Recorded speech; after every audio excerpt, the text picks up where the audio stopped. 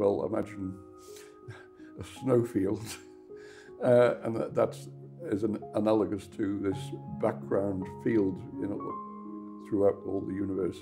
And this affects the way that uh, pe people are crossing it uh, in, in, in different ways depending on whether they wear uh, skis or snowshoes or just boots. Uh, and the, the, analogy is then that the, the people with skis are relatively unaffected and travel at high, high speed. The people with snowshoes do not quite so well.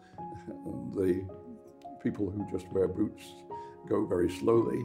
Uh, and that an analogy is with the effect on uh, some kinds of particles which continue to travel at speed of light and the massless and what happens to particles which are heavier. But to me that's, well, that contains less of the physics than my more roundabout explanation.